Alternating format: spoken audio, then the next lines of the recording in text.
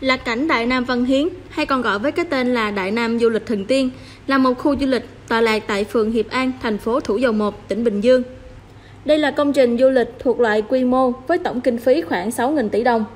Bên cạnh sự hoành tráng có thể thấy từ bên ngoài, rất nhiều hạng mục tại khu du lịch đình đám này một thời từng được công nhận đạt kỷ lục trong nước lẫn quốc tế. Khu du lịch Đại Nam Văn Hiến hiện nay sở hữu rất nhiều công trình ghi dấu kỷ lục. Bức tường thành dài nhất Việt Nam 14 km. Đền thờ lớn nhất Việt Nam 5.000 m2. Núi nhân tạo dài nhất 250 m.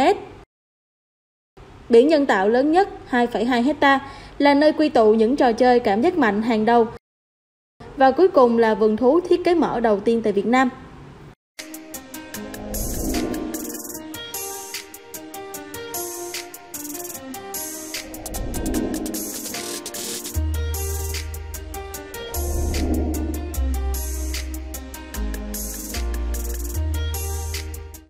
Hãy cùng blog du lịch tìm hiểu về kỷ lục đầu tiên, khu du lịch có diện tích lớn nhất Đông Nam Á.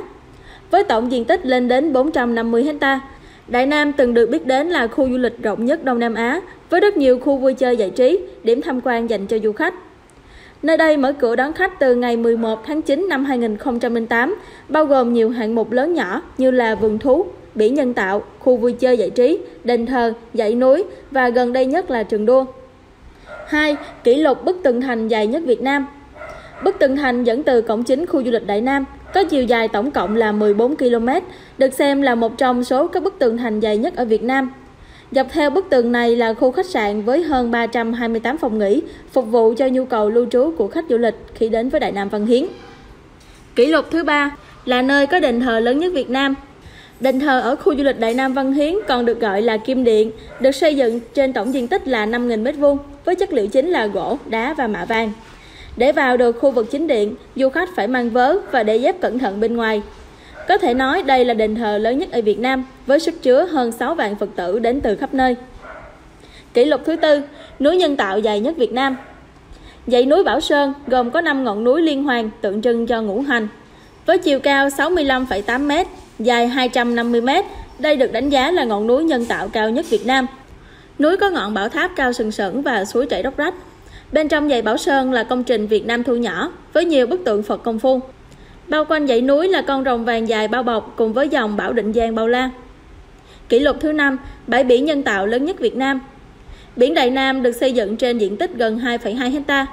Tổng diện tích mặt nước là 20.000 m2, chiều dài bờ biển 1,4 km với sức chứa hơn 30.000 lượt khách.